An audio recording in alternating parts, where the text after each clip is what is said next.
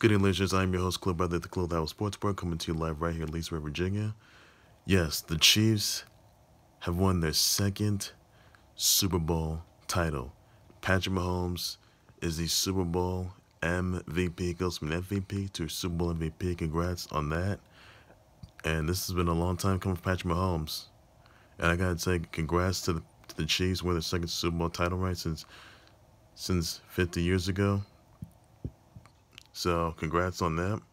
And this is a well-deserved victory for Patrick Mahomes and the Chiefs. They'll be going to Disney World, so hats off to the Chiefs. Hail to the Chiefs.